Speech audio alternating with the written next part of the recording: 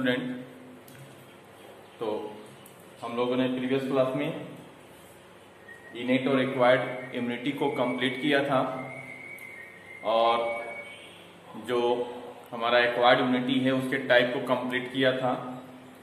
अब acquired immunity के बाद में आई हम लोगों ने इनेट इम्यूनिटी और एक्वायर्ड इम्यूनिटी दोनों इम्यूनिटी को कंप्लीट कर लिया है। तो उसके बाद में अब हम लोगों को देखना है थोड़ा सा response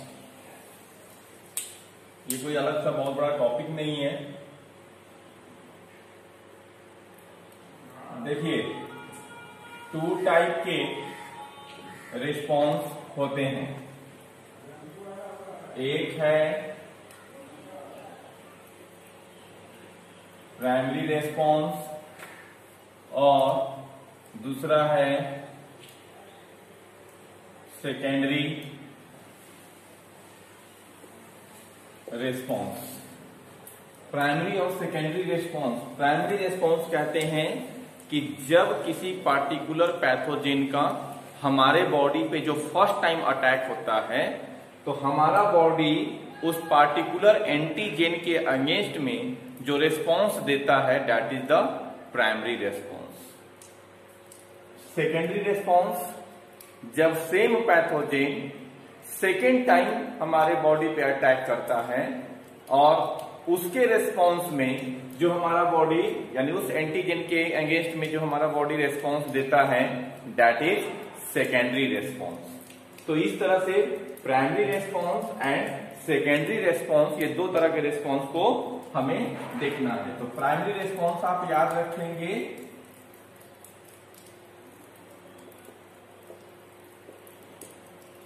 first time attack of particular antigen on body and and our immune response to the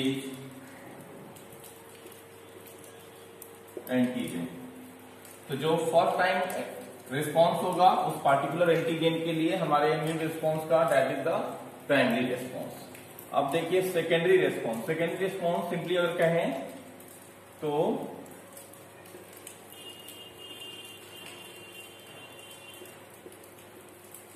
second time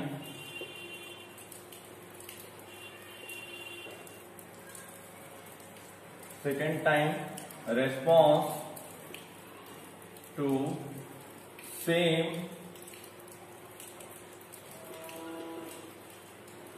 antigen of gen of first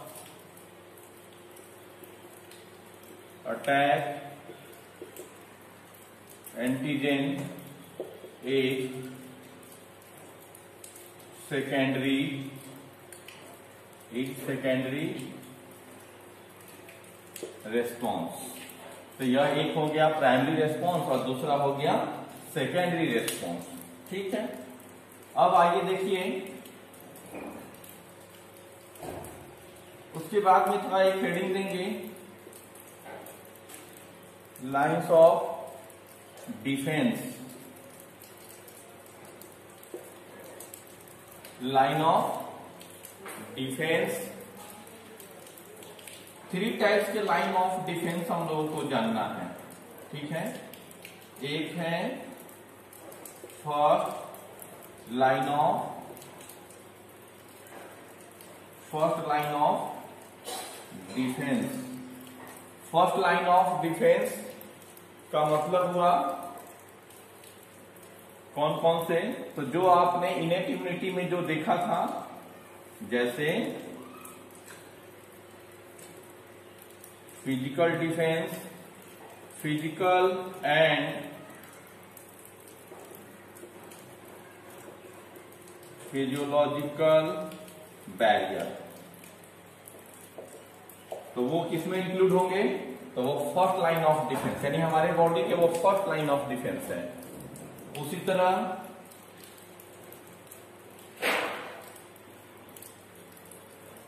second line of defence second line of defence में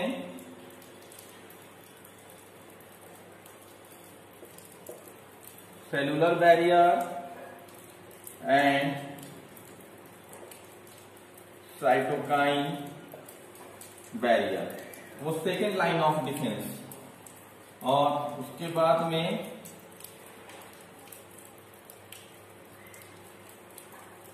third line of defence तो third line of defence में acquired immunity include होते हैं। तो ये तीन line of defence बस नाम याद रखना है कि क्यों, किस लाइन ऑफ़ डिफेंस में कौन सा इम्यूनिटी इंक्लूड होता है ओके तो पहले इतनी तक की बातों को हम लोग समझ गए। अब इसी के बाद हम लोगों को स्टार्ट करना है। तो इसके बाद हम लोगों को स्टार्ट करना है क्या? तो वो स्टार्ट करेंगे हम लोग एंटीजेन ये एंटीजेन क्या होता है? ओके तो हम लोग जो बात कर रहे थे वो है एंटीजेन के बारे में। तो अब हम लोग देखेंगे क्या है एंटीजेन तो ये चीज़ समझ गए? अब आइए देखते हैं स्टार्ट करते हैं हम लोग एंटीजेन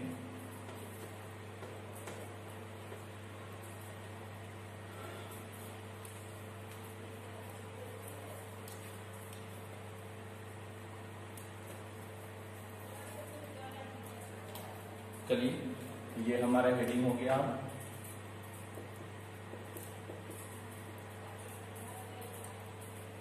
एंटीजन क्या है एंटीजन क्या होता है?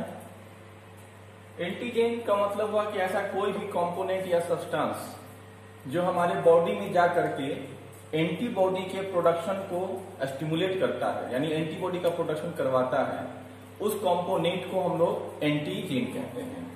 तो सिंपली हम लोग इसको समझेंगे बात को कि एंटीजन का मतलब क्या हुआ?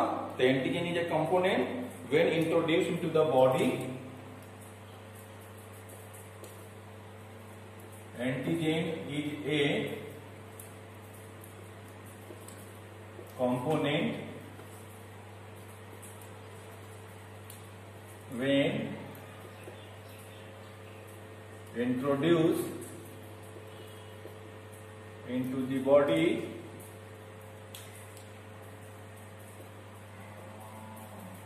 A stimulate introduce into the body stimulate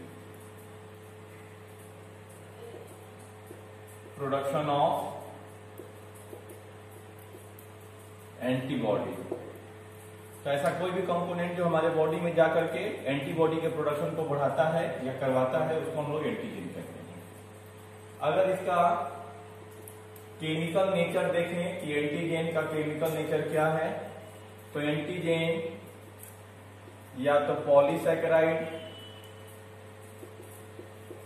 या फिर प्रोटीन नेचर का हो सकता है, या फिर वह न्यूक्लिक एसिड का हो सकता है। क्या क्या तो पॉलीसेकेराइड, प्रोटीन और न्यूक्लिक एसिड। ये तीन केमिकल नेचर हो सकते हैं। अब एंटीजेन में ही हम लोगों को देखना है, एंटीजेनिक डिटर्मिनेंट्स या फिर इपिटॉप एंटीजेन जो है वह एक ग्रीक वर्ड है। एंटी का मतलब होता है अगेंस्ट एंड दूसरा वर्ड होता है जीनोस, का मतलब होता है बर्थ तो एंटीजेन जैसे कि एक ग्रीक वर्ड है anti means against and genos मतलब बर्थ इसी में हम लोग को देखना है एंटीजेनिक या स्ट्रक्चर ऑफ़ एंटीजन हेडिंग दे करके आईसी लोग कर सकते हैं। तो इसके स्ट्रक्चर का पार्ट है तो उसको हम लोग कहते हैं।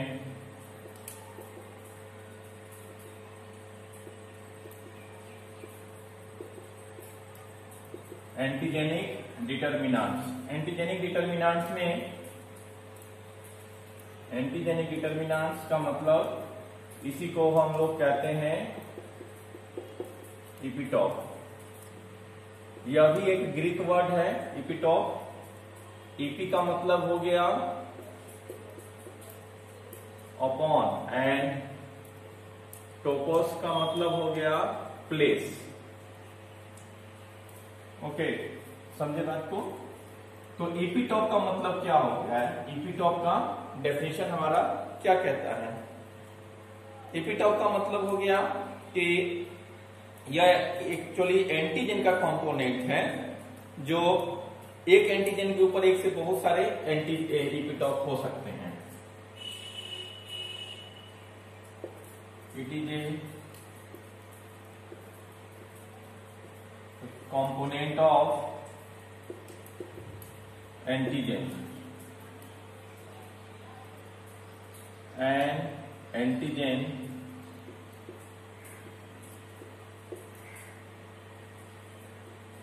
antigen and antigen carry carry many many epitome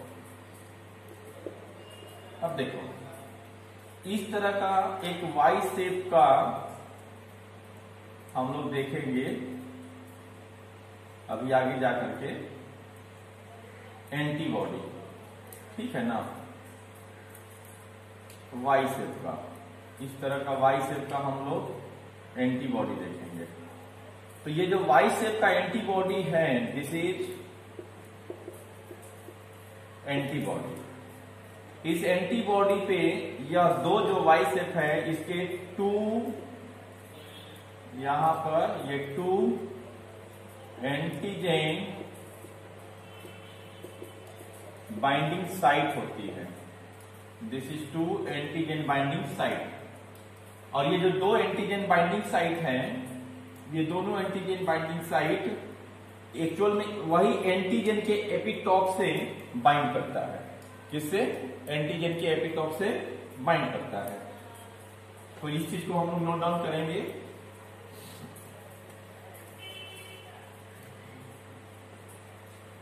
and या ऐसे दी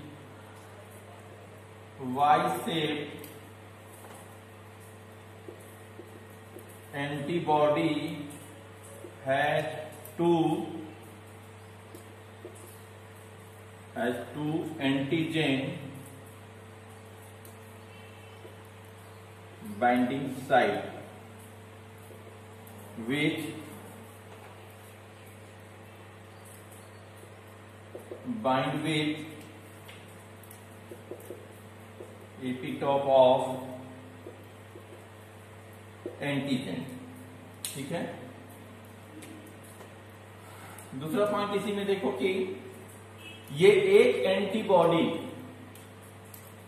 दो अलग अलग एंटीजन के सेम एपिटॉप से बाइंड कर सकता है। दो अलग अलग एंटीजन के सेम एपिटॉप से यहाँ पे कंफ्यूजन नहीं रखेंगे बात को। पहला बात हम आपको ये समझा रहे हैं कि एक एंटीबॉडी के ऊपर दो बाइंडिंग साइट है। पहला बात आप ये समझ गए। और यही बाइंडिंग साइट जो है वह यानी कि ये ये एक अलग बाइंडिंग साइट है और यह एक अलग बाइंडिंग साइट है। इसी दोनों बाइंडिंग साइट में मान लो कि यह एक एंटीजन के साथ बाइंड किया और यह दूसरा एंटीजन के साथ बाइंड किया। तो जो एंटीजन से बाइंड करता है एंटीजन के ऊपर क्या है? तो एंटीजन के ऊपर ईपीटॉप है। तो वही ईपीटॉप से बाइंड कौन करता है? ये एंटीबॉडी बाइंड करता है। अब समझ गया बात को? तो हम कह रहे हैं इसमें नेक्स्ट पॉइंट कि एक एंटीबॉडी पे जो दो बाइंडिंग साइट हैं, वह दो अलग अलग एंटीजेन के सेम एपिटॉप से बाइंड कर सकता है। अगर सेम टाइप का एपिटॉप है, लेकिन वो एंटीजन दो अलग अलग है। दो अलग अलग इंडिविजुअल एंटीजन है, और उसके इपिटॉप का नेचर सेम है तो वह बाइंड एक एंटीबॉडी उन दोनों अलग अलग इपीटॉप के सेंटर से बाइंड कर सकता है। तो यही बात को हम आपको लिखाना चाह रहे थे इसमें आप इस तरह से कंफ्यूजन नहीं रखेंगे। क्योंकि ज़्यादातर इसमें ये बात ही हम समझ नहीं पाते हैं कि एक्चुअल में बात है क्या। ओके? तो and antibody can bind with can bind with two identical epitope of two identical epitope of different antigen समझ गए बात को तो यानी कि अगर इस तरह से हम एक एंटीजन को बनाए, यह एक एंटीजन हुआ। और और इस एंटीजन के ऊपर यहाँ पर जो बाइंड करता है एंटीबॉडी के साथ, ये जो पार्ट हो गया दिस इज़ द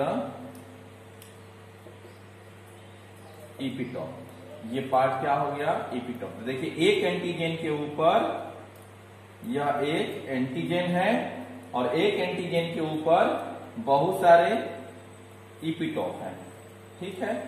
तो पहले बात हम समझ गए। आईसीपीटॉप का नाम है एंटीजेनिक डिटर्मिनेंट अब एंटीजेन एक्चुअली में एंटीजेन के टाइप की बात करें हम लोग थोड़ा सा। तो एंटीजेन जो है वो एक्चुअली टू टाइप के हैं। कितने? टू टाइप के। एक होता है कंप्लीट एंटीजन और दूसरा होता है incomplete antigen complete and incomplete antigen complete antigen का मतलब हो गया कि जो एंटीजन खुद से, यानी कि वो डायरेक्टली क्या करेगा? एंटीबॉडी का प्रोडक्शन करवाने में कैपेबल होगा। और दूसरा डिफरेंट टाइप्स के, यानी सेकेंड टाइप के, यहाँ पर देखिए। ठीक? थोड़ा टाइट डाल दिए। तो एक को बोलेंगे हम लोग कंप्लीट एंटीजन और दूसरे को बोलेंगे हम लोग इनकम्प्लीट एंटीजन कंप्लीट एंटीजन और इनकम्प्लीट एंटीजन कंप्लीट एंटीजन मतलब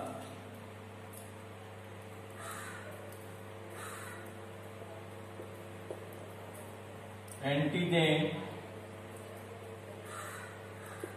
capable to capable to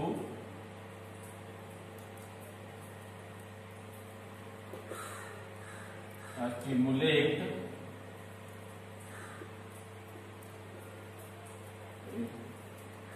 capable to stimulate immune response for antibody production और incomplete antigen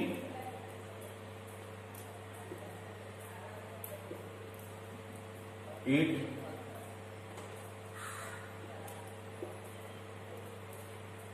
it is not capable to stimulate for antibody production by themselves यह खुद से capable नहीं होगा इतना अकेले यानी खुद अकेले जो है वह एंटीबॉडी का प्रोडक्शन नहीं करवा सकता है। तो ये हो गया सेल्फ एंड नॉन सेल्फ और इसी में एक हम लोगों को एग्ज़ाम्पल जानना है हैप्टेंस के बारे में। क्या होता है? हैप्टेंस तो हैप्टेंस वही इनकम्प्लीट में आता है। तो एक चीज़ हम लोग लिखेंगे हैप्टेंस के बारे में। तो हैप्टेंस क्या है? थोड़ा सा ये बताएँगे। तो हैप्टेंस वही चीज़ है कि जो खुद अकेले, यानी ऐसा सब्सटेंस या ऐसा फॉरेन मॉलिक्यूल जो कंप्लीट एंटीजन तो नहीं है, यानी वो खुद अकेले एंटीबॉडी का प्रोडक्शन तो नहीं करवा सकता है, लेकिन वह किसी दूसरे के साथ, यानी कोई और मॉलिक्यूल के साथ अगर मिल जाए तो उसके साथ मिलके वह एंटीबॉडी का प्रोडक्शन करवा सकता है। तो उसी को हम लोग क्या कहते हैं? उसी को हम लोग हैप्टेंस कहते हैं। हैप्टेंस ऐसे आगे जाकर के आप लोग को बहुत पढ़ना होगा। यहाँ तक के पार्ट में बहुत ज़्यादा इसमें आप लोग को नहीं ज़्यादा कुछ जानना है हैप्टेंस के बारे में। तो इसीलिए इसको पार्शियल एंटीजन भी करते हैं। इसको हम लोग partial and hidden. So they are incapable, they are incapable to stimulate stimulate immune response for antibody production. But but when it combine with large molecule यानी foreign molecule they able to synthesize या stimulate antibody by B cell तो इसी चीज़ को हम लोग क्या कहते हैं? इसी चीज़ को हम लोग हैप्टेंस कहते हैं। अब एक होता है सेल्फ एंटीजन सेल्फ एंटीजन तो जो एंटीजन हमारे खुद के बॉडी के सेल पे होते हैं, उसी को हम लोग कहते हैं ऑटो एंटीजन या फिर सेल्फ एंटीजन और जो जो बाहर के एंटीजन है उसको हम लोग नॉन सेल्फ एंटीजन कह सकते हैं। जैसे जो फॉरेन मॉलिक्यूल हम लोग बार बार जो हम लोग देख रहे हैं। एक, ये भी हम लोग समझ लेंगे। सेल्फ एंटीजन जैसे आप लोग ब्लड ग्रुपिंग पढ़े ही होंगे। ब्लड ग्रुप ए पे एंटीजन ब्लड ग्रुप बी पे बी एंटीजन तो ये सब जो एंटीजन है, वो हमारे बॉडी के खुद का एंटीजन है। तो इसको हम लोग कहेंगे antigen on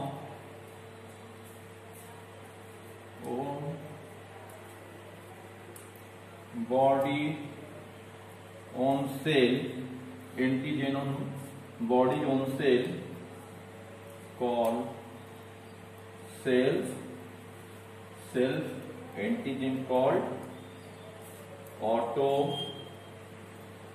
antigen और self antigen okay and and foreign molecule or antigen is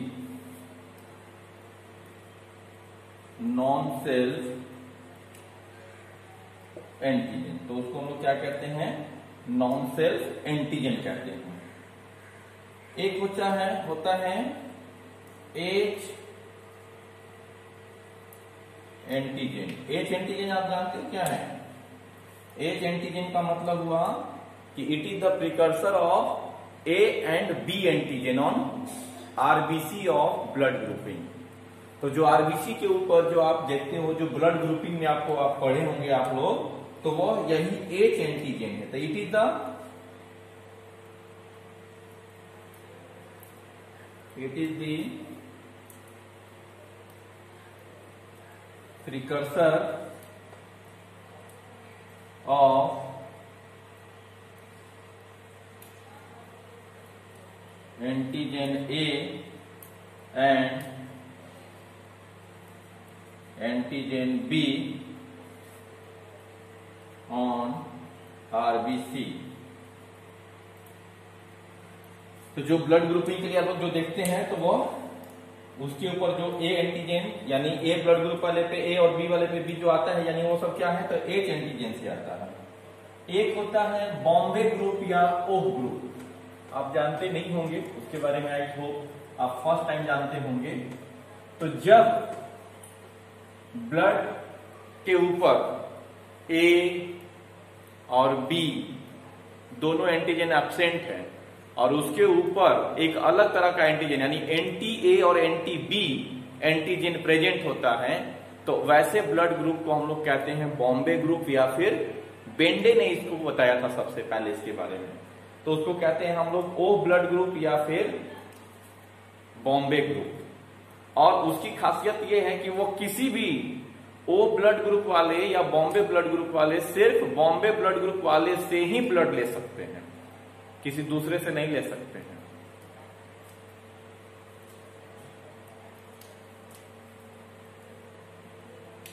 Bombay blood group. Bombay group.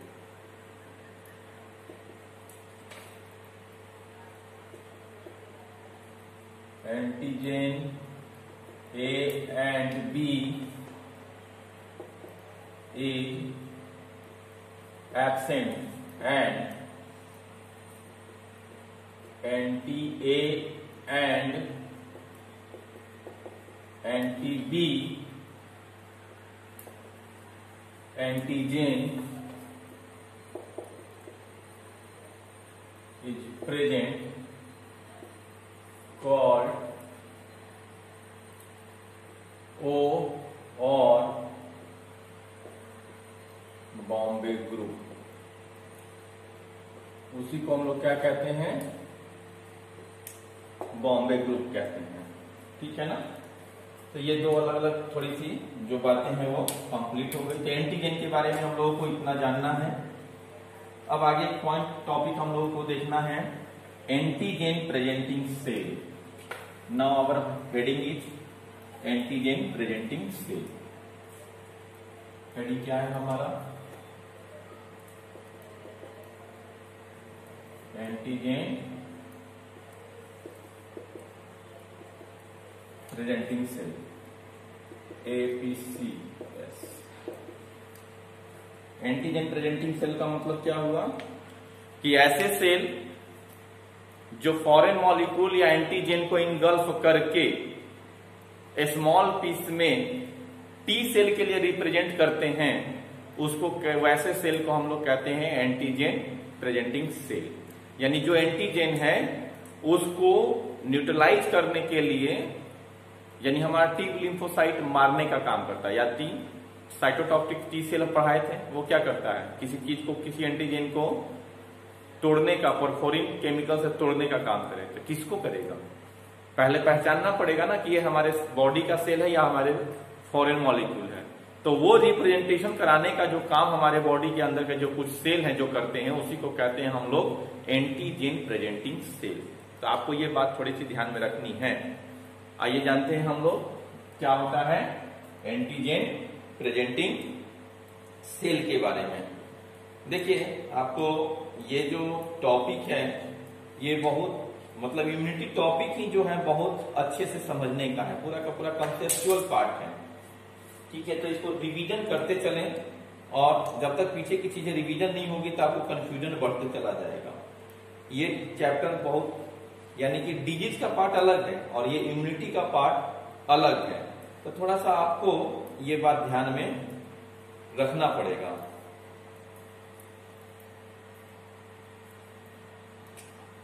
चलिए जानते हैं। तो इसका देखिए the cell that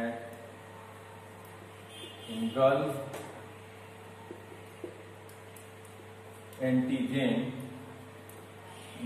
the cell that engulf antigen and present engulf antigen and present fragment. To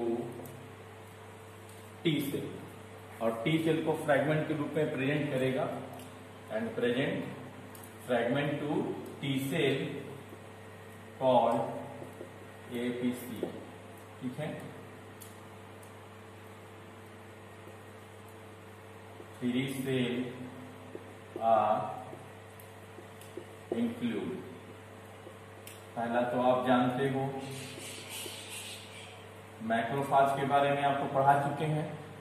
macrophage जब हमारा blood stream में है तो मोनोसाइट के फॉर्म में और टिश्यू के फ्लूड में है, यानी टिश्यू के अंदर में है तो वह मैक्रोफाज के फॉर्म में है। तो एक मोनोसाइट और दूसरा मैक्रोफाज मोनोसाइट ये भी बात आप बोल सकते हैं। तो मैक्रोफाज जो है वह एक मेन एंटीजेन प्रेजेंटिंग सेल में से एक है। मैक्रोफाज का पूरा डिटेल आपको करा चुके हैं। ये इंगल्फ करेगा किसी एंटीजेन को और उसके बाद उसको रिप्रेजेंट करवाएगा टी सेल के पास एक फ्रैगमेंट के रूप में। ठीक? तो यह एक लिम्फॉइड टिश्यू है। सॉरी लिम्फॉइड पार्ट है। और उसके बाद सेकंड में देखिए, यह है डेंड्राइटिक सेल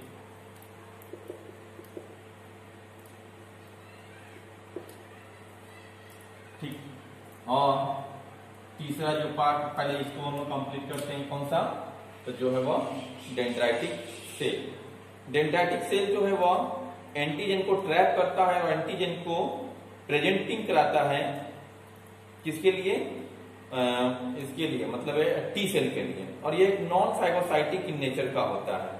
ये होता कहाँ है? तो ये हमारे लिम्फ नोड में एस्प्लिन में थाइमस में और स्किन में होता है. तो ये क्या काम करेगा तो ये ट्रैकिंग करेगा और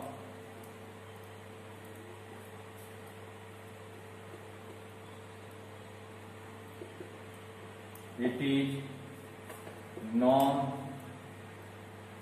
phagocytic cell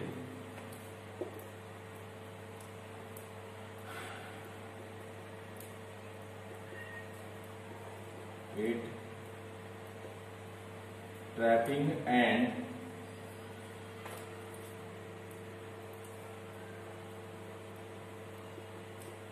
presenting cell for T cell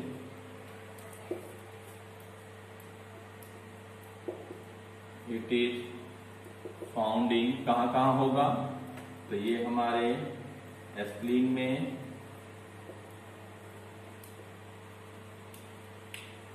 lymph node में थाइमस में और एस्किन में प्रेजेंट होगा। ठीक है? अब तीसरा पार्ट आइए। तीसरा जो सेल है वह है बी सेल बी सेल हम पहले भी आपको बता चुके थे कि बी सेल के उसका जो मेम्ब्रेन है बी सेल के उसके ऊपर एंटीबॉडी होते हैं, जिसे इम्यूनोग्लोबुलिन भी कहते हैं। जो एंटीजेन का रिसेप्टर है तो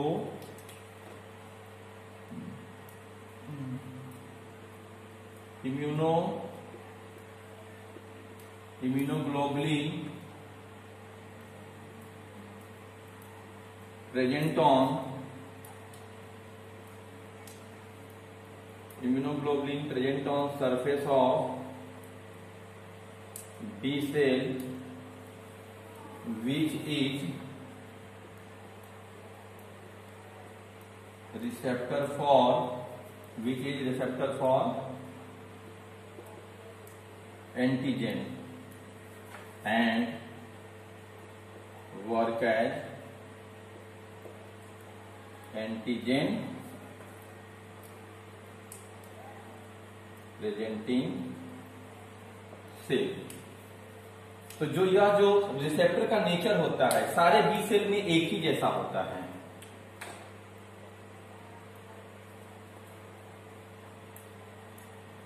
The nature of receptor is same in the nature of receptor is same in all B cell अब एंटीजन यानी प्रेजेंटिंग सेल के रूप में मेन रूप से सबसे ज़्यादा काम कौन करता है? तो मैक्रोफाज और डेंड्राइटिक सेल करता है। एक यहाँ पर दे देंगे point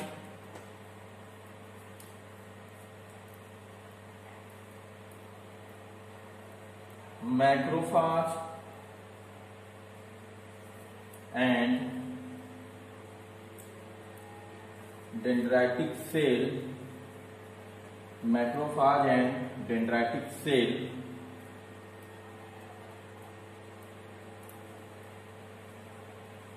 mainly work for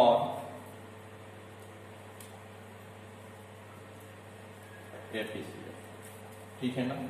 तो इस तरह से ये जो बातें हुई, वो है एंटीजन प्रेजेंटिंग सेल के लिए है। मतलब ये और एक चीज़ और है कि जो बी सेल है, एक बी सेल सिर्फ़, ये जो भी बी सेल है, वह सिर्फ़ एक ही एंटीजन से बाइंड कर सकता है। तो वो भी एक पॉइंट लिख लीजिए। एंड ये B cell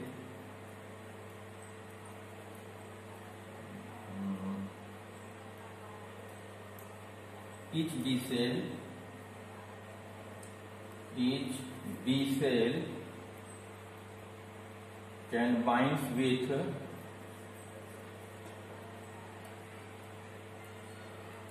bind with can bind with only one each B cell can bind with only one antigen ठीक है ना तो एंटीजन के बारे में भी हम लोगों ने पूरी बातें को देख ली। अब नेक्स्ट पॉइंट हम लोगों को स्टार्ट करना है क्या? तो वो हम लोगों को स्टार्ट करना है एंटीबॉडी के बारे में।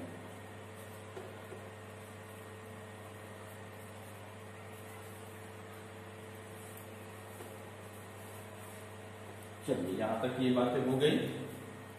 तब हम लोग स्टार्ट करने वाले हैं क्या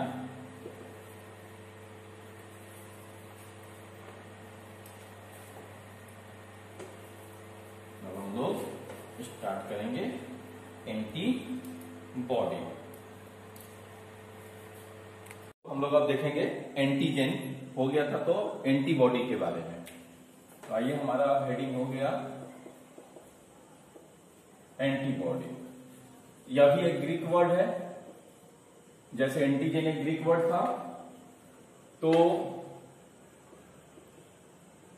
एंटी मतलब against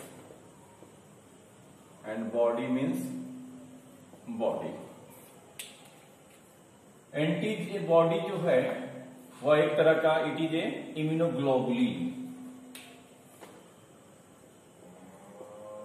it is a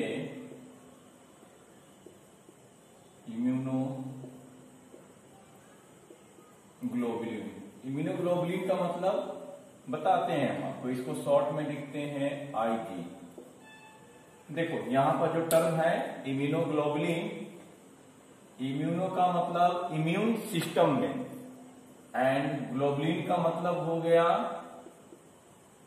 protein तो इम्यून सिस्टम में जो प्रोटीन पैथोजेन को न्यूट्रलाइज करने का काम करता है, उसको कहते हैं इम्यूनोग्लोबुलिन क्लियर बात? तो तो एंटीबॉडी है क्या? तो antibody producing body in the response of in the response of antigen or foreign molecule.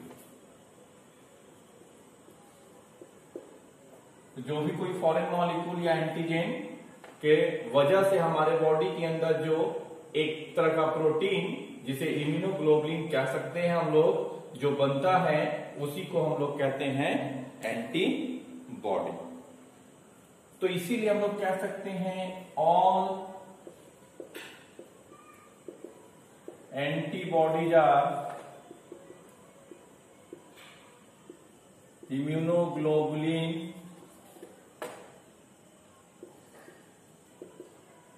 immunoglobulin, but all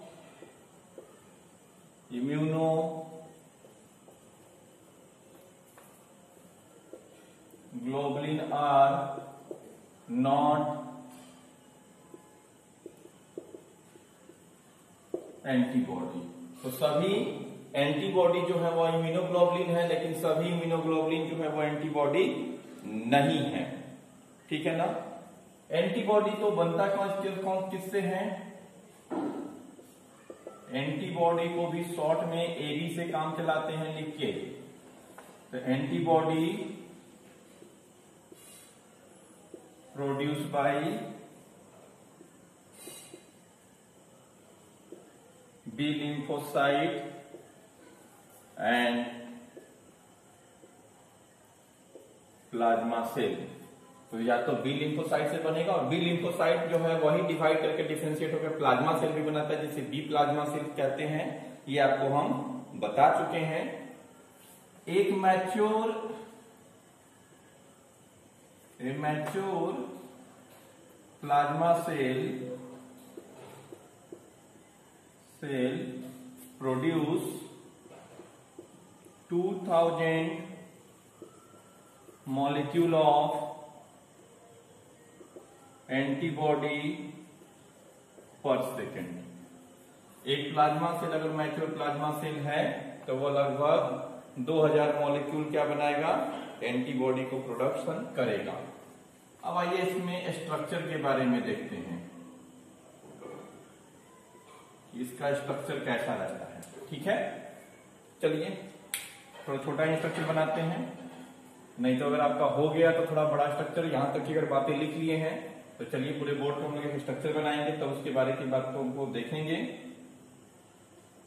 ठीक है? हो गया आपका? तो आइए स्ट्रक्चर देखते हैं हम लोग इसका।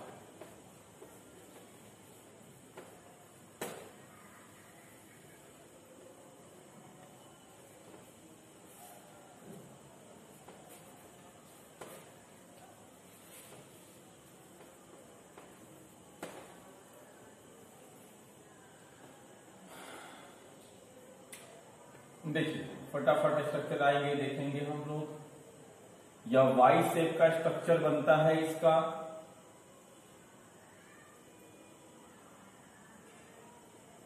इस वाई शेप के स्ट्रक्चर में इसमें दो रीजन आते हैं। एक होता है वेरिएबल रीजन और दूसरा होता है इसमें constant region variable and constant region सारी बातों को हम आपको लिखाएँगे।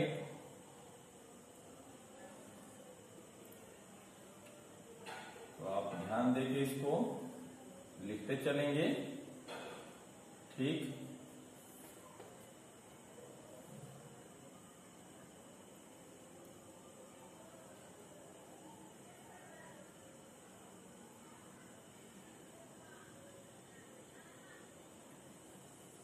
बहुत हार्ड एंड फास्ट स्ट्रक्चर नहीं है सिंपल सा स्ट्रक्चर है।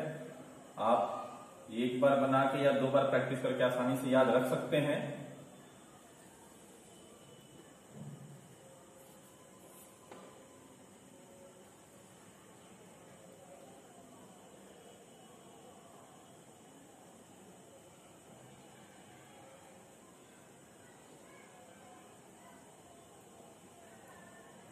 हो गया उसी तरह से इधर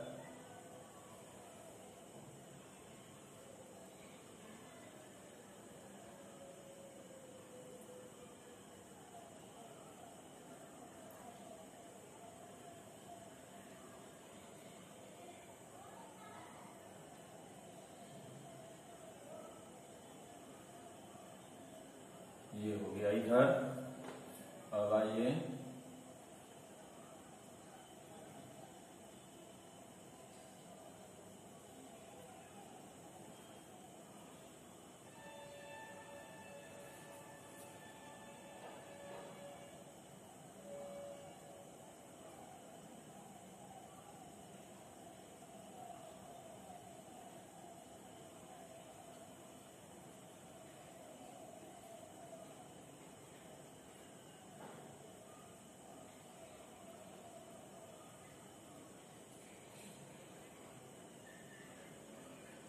डाइसल्फाइड बॉन्ड है।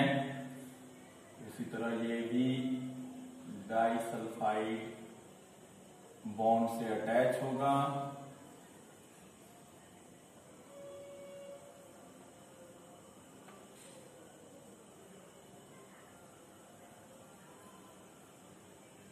आप मेरे साथ साथ डायग्राम को बना सकते हैं।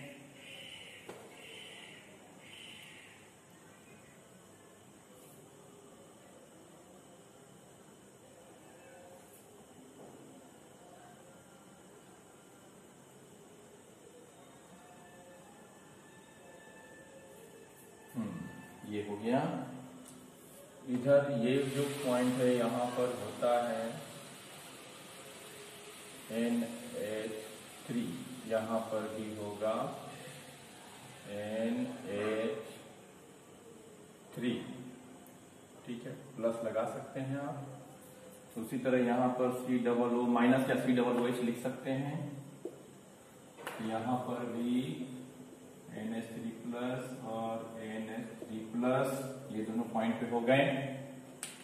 अब इसमें ये जो रीजन है, यहाँ तक इसको हम लोग थोड़ा इस तरह से क्रॉस क्रॉस क्रॉस कर दिए डिफ्रेंशिएट करने के लिए ताकि आसानी से पता चले ये क्या होता है लाइट रीजन क्या होता है। ठीक है ना? Variable region and constant region को समझने के लिए हम लोगों ने इसको इस तरह से क्रॉस क्रॉस किया है।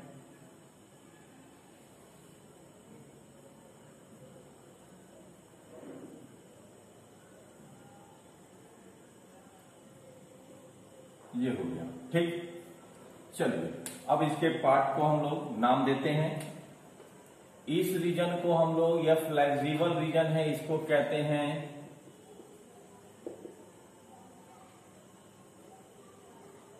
या फ्लेक्सिबल होता है, इसलिए इस रीजन का नाम है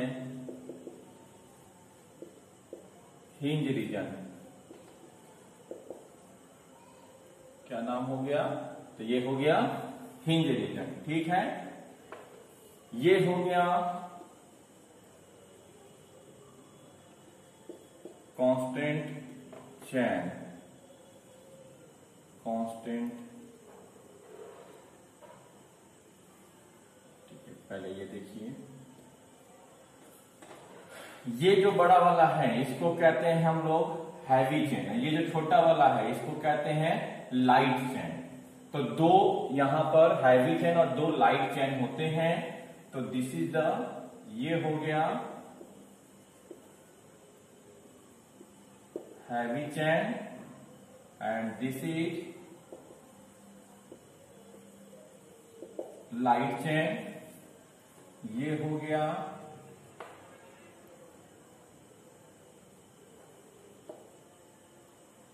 वेरिएबल रीजन ठीक है? Variable region of heavy chain उसी तरह ये हो गया variable region of light chain तो ये हो जाएगा constant region of heavy chain तो ये हो जाएगा constant region of light chain ये वाला पार्ट जहाँ ब्लू ब्लू नहीं किए हैं ठीक है ना? ब्लू मार्कर से हमने अंडरलाइन नहीं किया है। जैसे यहाँ तक का ये रीजन क्या हो गया? इधर वाला पार्ट ये हो गया variable region of light chain और ये वाला पार्ट जो है वो constant region of light chain तो दोनों के, दोनों चैन के, दो चैन है पहले हैवी चेन और लाइट चेन और दोनों चैन में दो रीजन है। एक वेरिएबल रीजन है, दूसरा कांस्टेंट रीजन है। तो यहाँ तक की बात को समझे।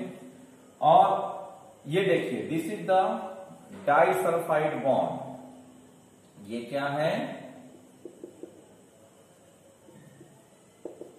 डाइसल्फाइड बॉन्ड है। डाइसल्फाइड बॉन्ड दोनों हैवी चेन और लाइट चेन को बाइंड करके रखने का काम करता है।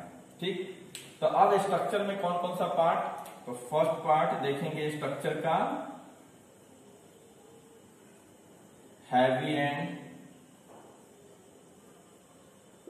लाइट चैन दो पार्ट है, एक हैवी एंड लाइट चैन है। हैवी एंड लाइट चैन तो एंटीबॉडी जो है, वो चार पेप्टाइड चैन से बना हुआ है। जिसमें दो हैवी चैन है और दो लाइट चैन है। तो इसको लिखेंगे। एंटीबॉडी को हम बोले थे कि एबी से लिख सकते हैं। Antibody made up of four peptide chain two heavy chain and two light chain. इसीलिए इसको रिप्रेजेंट करते हैं कैसे? एच टू एल टू यानी दो हैवी चेन और दो लाइट टू एल टू से रिप्रेजेंट कर देते हैं। अब यहाँ पर ये जो साइट बना हुआ है, इस तरह से अंदर की ओर धसा हुआ, इस साइट को हम लोग कहते हैं एंटीजेन बाइंडिंग साइट कौन से साइट को? तो इस साइट को हम लोग कहते हैं एंटीजेन बाइंडिंग साइट यानी यहीं पर आकर के इपीटॉप जो है वह बाइंड करता है। कहने का मतलब आप समझ गए? इपीटॉप जो है वो बता चुके हैं आपको तो यहीं पर इपीटॉप इधर और इधर। तो यहाँ पर आइए, देखिए। यानी किसी भी एंटीजन का जो एपीटॉप होगा, इसी वाई शेप के, हम पहले बताए थे कि एंटीबॉडी में एंटीबॉडी एक वाई शेप का स्ट्रक्चर है, जिसके ऊपर दो एंटीजेन बाइंडिंग साइट होते हैं। तो यही दो एंटीजन, एक इधर और एक इधर एंटीजन बाइंडिंग साइट है। तो ये आप थोड़ा सा ध्यान में रखेंगे। तो दो टू रीजन इसमें कांस्टेंट और टू रीजन वेरिएबल है। तो दूसरा पार्ट हम लोग देखेंगे। Constant and variable constant and variable region तो two constant and two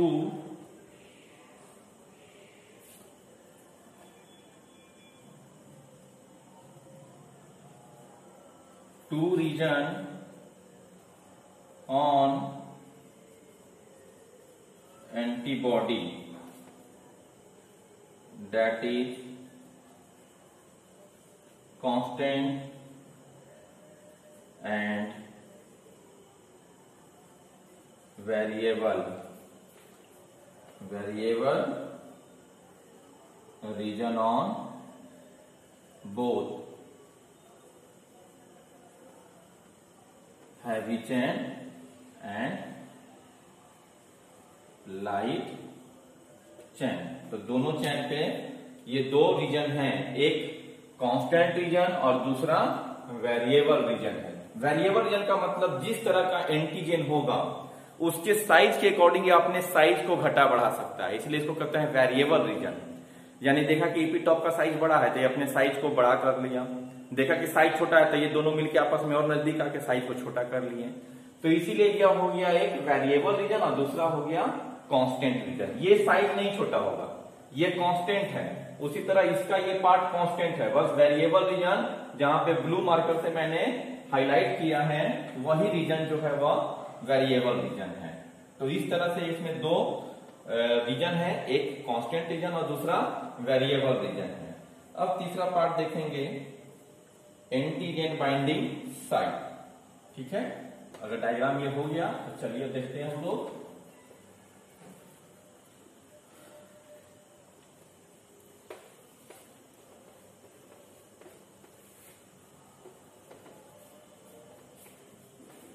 antigen का जो बाइंडिंग साइट है, यानी कि जो डाइसल्फाइड और हिंज रीजन है, या फिर एंटीजन बाइंडिंग साइट है, ये दो अलग ये पार्ट हो गए हैं स्ट्रक्चर के बचे हुए हैं तो antigen binding site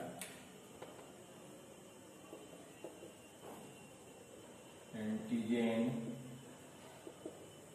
binding site एक फैब रीजन होता है। Two identical Fab region present on the यानी the Y shaped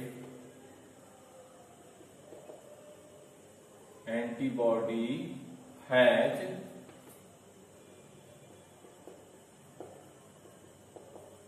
two identical two identical fragment of antibody binding इसी को हम लोग क्या लिखते हैं? फैब लिखते हैं। Two identical fragment of antibody binding यानी फैब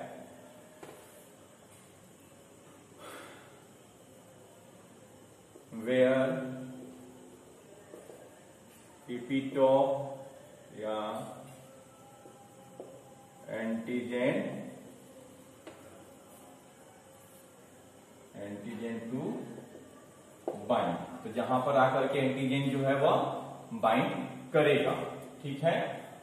उसके बाद में है लास्ट ये थर्ड स्ट्रक्चर का थर्ड पार्ट और ये फोर्थ यानी एक हो गया। Disulphide disulphide bond and hinge region. Disulphide bond and hinge region की अगर बात करें तो देखिए, heavy chain join with heavy chain join attach join with light chain, heavy chain joined with light chain by by by disulfide bond. The flexible part is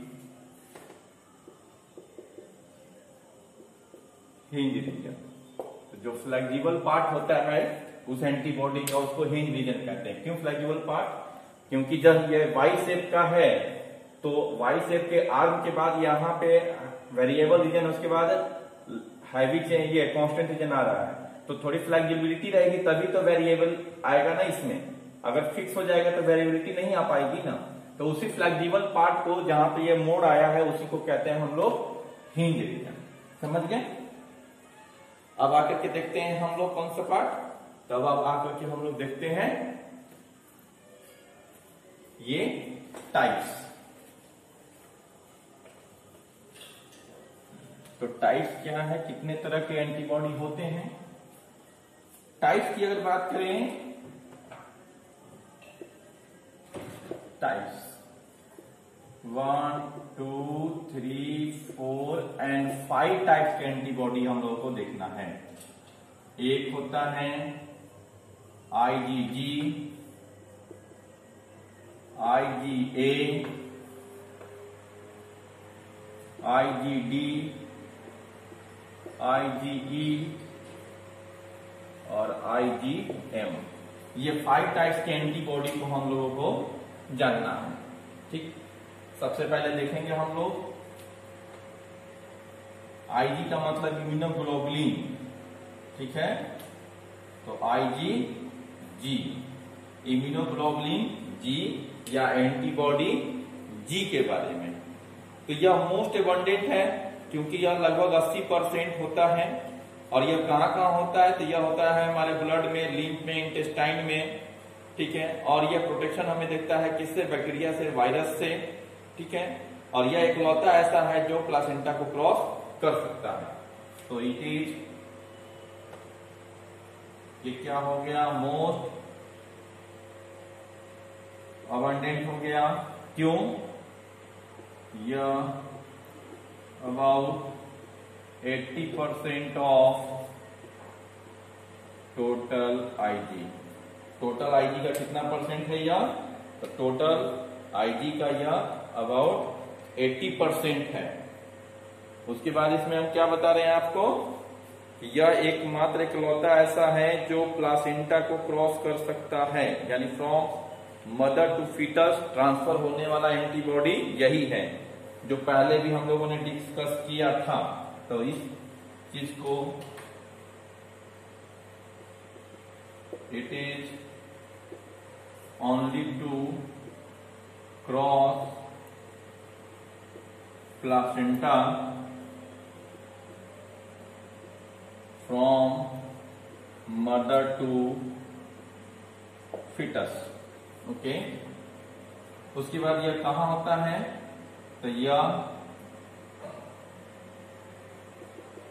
presenting blood blood lymph blood lymph and intestine में। Blood lymph and intestine में। और ये हमें protection देता है। किसके against में? Bacteria और वायरस के अगेंस्ट में। Provide protection against bacteria and virus provide protection against bacteria and virus ठीक है? तो इतने सारे ये सब इंपॉर्टेंट पॉइंट जो है वो हमें याद रखना है आईजीजी के बारे में मोस्ट अबंडेंट है, लगभग अस्सी परसेंट है, और ये इकलौता है जो प्लासेंटा को क्रॉस कर सकता है ब्लड लिंक इंटेस्टाइन होगा, और ये प्रोवाइड करेगा ये सब बैक्टीरिया और वायरस के इंग्लिश में मेन रूप से। अब आइए देखते हैं हम लोग आईजीए यानी इम्यूनोग्लोबुलिन ए के बारे में। इम्यूनोग्लोबुलिन क्या है? Second most abundant. This second most abundant. IgG मतलब आईजी है इम्यूनोग्लोबुलिन है। कितना है? About ten to fifteen percent of total antibody यानी टोटल एंटीबॉडी का लगभग कितना? तो 10 से 15 परसेंट। हाँ अब ये होता कहाँ कहाँ है? तो ये जो है वह हमारे पसीने में भी होता है, हमारे आँसू में भी होता है सलाइवा में भी होता है और सबसे इंपॉर्टेंट कोलेस्ट्रॉल में भी होता है या गैस्ट्रोइंटेस्टाइनल सिक्रेशन में भी होता है। ठीक है? तो ये बात थोड़ा इसमें आपको ध्यान रखना है। तो कहाँ कहाँ? Founding sweat tear gastro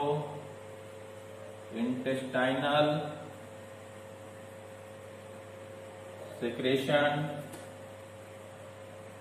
saliva and colostrum. तो कोलेस्ट्रम यानी first lactation of milk colostrum का मतलब फ़र्स्ट मदर मिल्क बार बार कल भी हम बताए थे आपको फ़र्स्ट क्योंकि यह इंपॉर्टेंट है क्वेश्चन पूछता है इससे। फ़र्स्ट मदर मिल्क ओके यह जो होता है, वो थोड़ा जे शेप का होता है। क्यों ऐसा? दिखाते हैं कि इसका छोटा सा स्ट्रक्चर हम लोग, क्योंकि इसमें एक सेक्रेटरी कंपोनेंट होता है।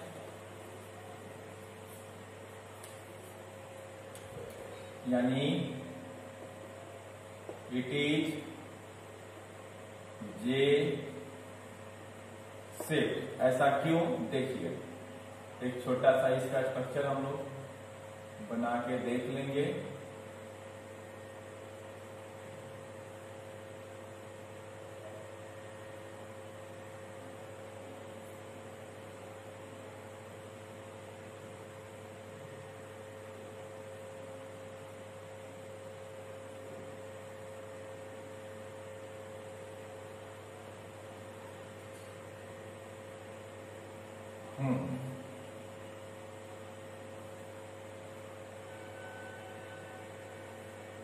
ये हो गया, ये जे शेप का इस तरह से ये जो आर्म है it is the J chain तो जे चैन यानी इट इज़ जे से लिख चुके हैं, इसको हम मिटा रहे हैं।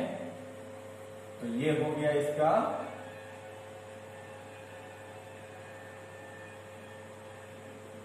जे चैन तो जे चैन कहने का मतलब इसका यही हुआ, और ये जो हुआ सेक्रेटरी कंपोनेंट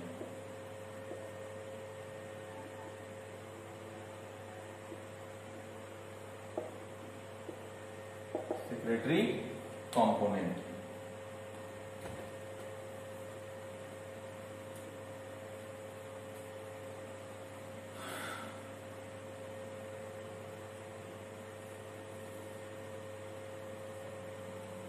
ठीक है तो ये हो गया आई जी ए के बारे में। अब देखिए I G E immunoglobulin E के बारे में। तो इम्यूनोग्लोबुलिन जो है वह हमारे मास्ट सेल में और बैसोफिल से जो हिस्टामिन का सिक्रेशन होता है, उसमें प्रेजेंट होता है। तो it is found in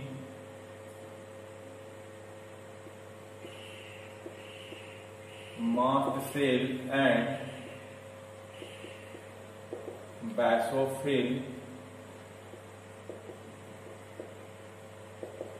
histamine secretion तो मास सेल और बैसोफिल से जो हिस्टामिन का सिक्रेशन होता है यह उसमें प्रेजेंट होता है। हिस्टामिन का सिक्रेशन या रिलीजिंग जो भी होता है, और यह एलर्जी में जो है वह एलर्जी एंड हाइपर सेंसिटिव में काम आता है। तो it involve in allergy and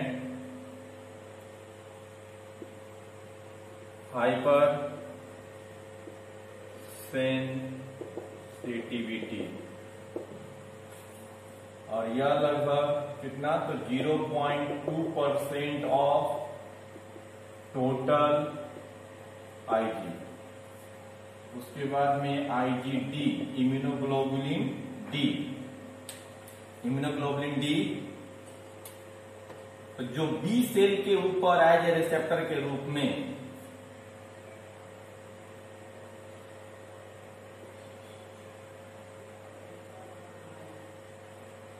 found on B cell surface as antigen receptor found on B cell surface as antigen receptor कितना होता है? लगभग 0.1 परसेंट ऑफ़ टोटल इम्यूनोग्लोबुलिन अब एक मोस्ट इंपॉर्टेंट आया कौन सा है?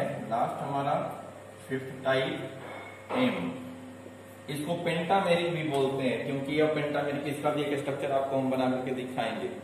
तो ये कहा होगा? तो फाउंड इन लिम्स और यह लार्जेस्ट आईजी है जो सिक्रीट होता है प्लाज्मा सेल से। एंड ओल्डेस्ट इम्यूनोग्लोबुलिन में से भी एक है। तो ये क्या है? Found in and uh, it is first secreted from plasma cell.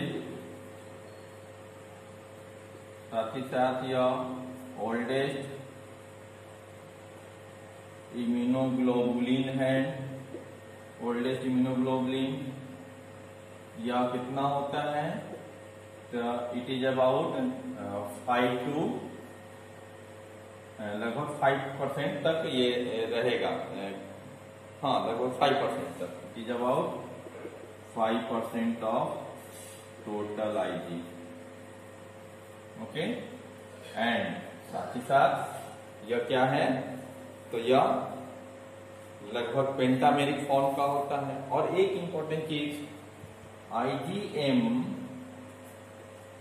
IgM is 500 time two thousand times more efficient more efficient then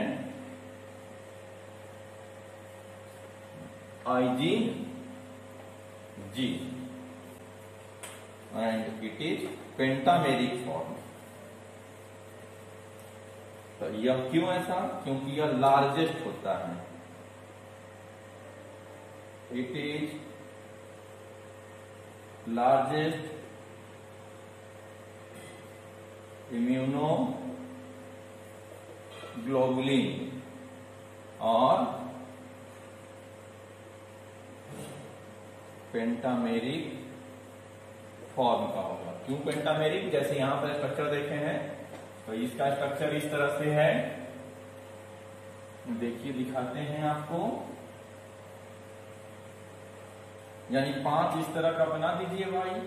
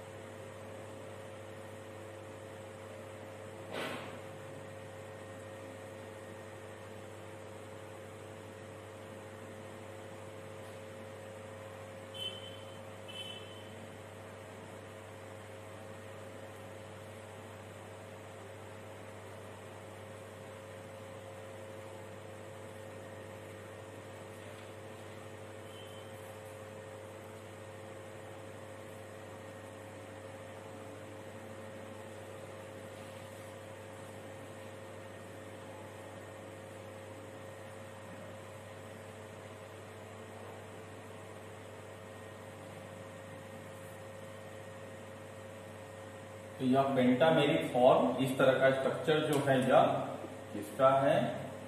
IgM का है। और इसमें यह जे चैन है। This is the pentameric form देखिए one two three four five तो five एक साथ इस तरह से जे फॉर्म से अटैच होते हैं इसीलिए यह पेंटामेरिक फॉर्म है। इसके वजह से यह लार्जेस्ट इम्यूनोग्लोबुलिन है, जो किसी भी तरह से प्लासेंटा बैरियर को क्रॉस नहीं कर सकता। तो इस तरह से हम लोगों ने यह टाइप ऑफ़ एंटीबॉडी को कंप्लीट कर लिया। Okay thank you